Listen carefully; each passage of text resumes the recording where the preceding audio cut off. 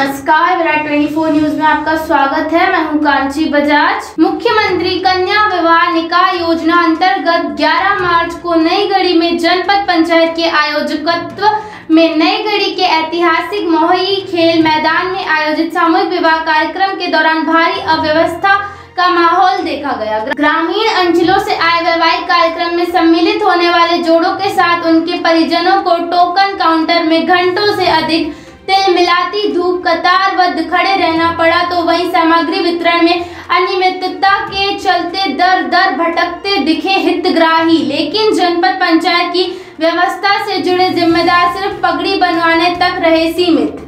हितग्राहियों की किसी को कोई परवाह ही नहीं थी। बताया गया कि अव्यवस्था के चलते जहाँ नव युवकों जोड़ों को विवाह से पहले एवं विवाह के बाद बैठने के लिए कुर्सी नसीब नहीं हुई। वहीं पूरे विवाह कार्यक्रम की ज़िम्मेदारी निर्वाहन करने वाले कथित ठेकेदार की हद धर्मिता के चलते दूर दराज से आए घरात एवं बारात पक्ष के लोगों को जहाँ भोजन के पैकेट पाने के लिए भटकना पड़ा, वहीं सामूहिक विवाह कार्यक्रम स्थल पर पर्याप्त पानी की व्यवस्था न होने के कारण लोगों को बूंद बूंद पानी के लिए दर दर भटकते रहे लोग।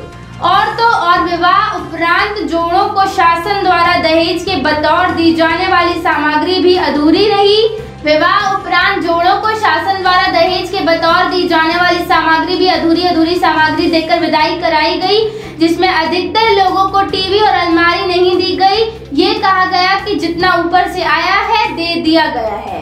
कटी फटी साड़ी का वितरण किया गया, खाने के पैकेट जिन्हें मिला भी, वो भी सड़क पर फेंकते नज़र आए।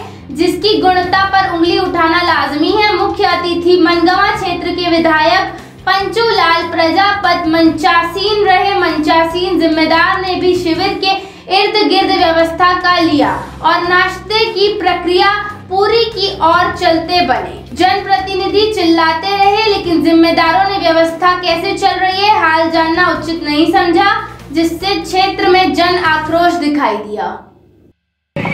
खाना मिलने के कारण यहाँ पड़ी है। ये लोगों ने फेंका पैकेट।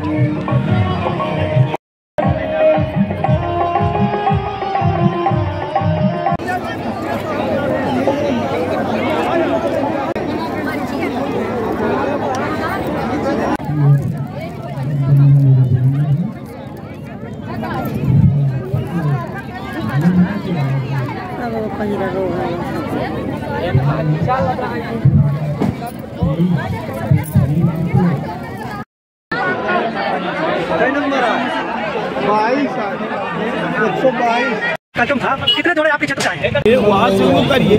और इनकी बैठक होगी विधिवत पूरी जानकारी ली जाएगी। तो विधायक होगी। विधायक जी, एक छोटा सा सवाल। ठगा गया ना? नहीं नहीं ऐसा यहाँ का विधायक जी एक ये प्रकाश में मामला आया है कि यहाँ पर जो कन्या विवाह योजना है यहाँ पर फटी धोतिया बटी है। इस संबंध में क्या कहेंगे सर? नहीं अभी तो ऐसा हमने देखा नहीं है कि फटी धोतिया बटी है। ये सभी लोगों के जोड़ों के लिए ये कपड़े मंगवाए गए। सर मेरे पास वीडियो है? मेरे पास वीडियो हो फ़ोटो। अच्छा वो कहीं दूसरा धोखा हो गया होगा। सफ़ेद साड़ी के लिए बताई जा रही? थी। सफ़ेद साड़ी भी बताई जा रही थी। सफ़ेद साड़ी? हाँ। नहीं है। कन्याओं को सफ़ेद साड़ी भी बांटी गई थी जो वापस की गई है फिर बाद में। नहीं तो ऐसा हुआ होगा कि जैसे अब रजिस्ट्रेशन करने में अब इतना बड़ा भीड़ भाड़ है थोड़ा तो कुछ इधर उधर हो ही जाता। है परंतु ऐसा तो अभी देखने को नहीं मिला है। परंतु आप आप कह रहे हैं तो इसकी भी हम देख जाँच करवा लेंगे क्या है। ठीक। और चार। चार।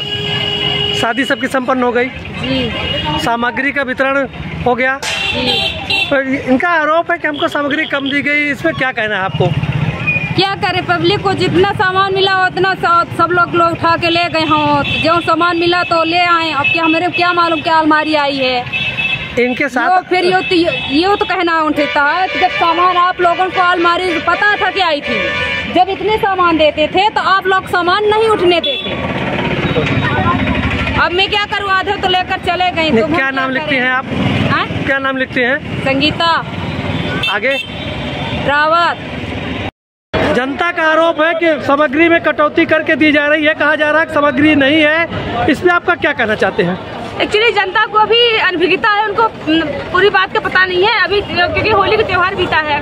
और अपने पास जो हमारे वेंडर रिवर्स डिसाइड हुए हैं, उनके पास आवागमन साधन का अभाव था। इसकी वजह से जो अलमारी और जो कुछ चीज़ें शेष है, उनको हम चौदह तारीख के बाद हम सभी हितग्राहियों को बुलाकर अलग से देंगे।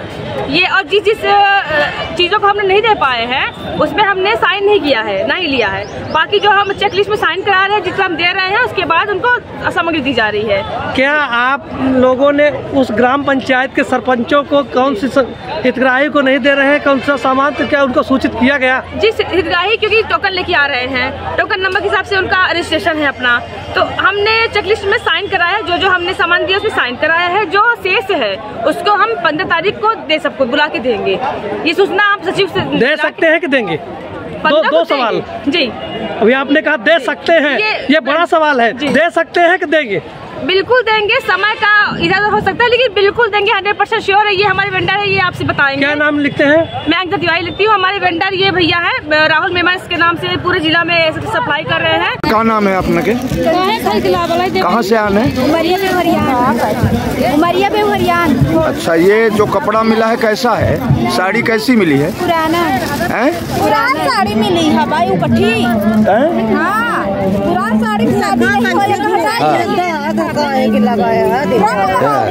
है। रंग मसाला हैं? ये पुरानी साड़ी है? पुरानी साड़ी है। पुरानी साड़ी। रंग मसाला खेल के हाँ, हाँ। आप कहाँ से आए हमारे बताओ ना और से। अच्छा यहाँ क्या व्यवस्था रही यहाँ व्यवस्था ये रही कि ना अभी तक हम लोग घूम रहे हैं ना पानी पीने की कोई सुविधा है ना खाना खाने के लिए मिल रहा है। टोकन बोल रहे हैं टोकन ले आओ पहले अब यहाँ कोई टोकन देने वाला तैयार नहीं क्या नाम लिखते हैं? सचिन द्विवेदी।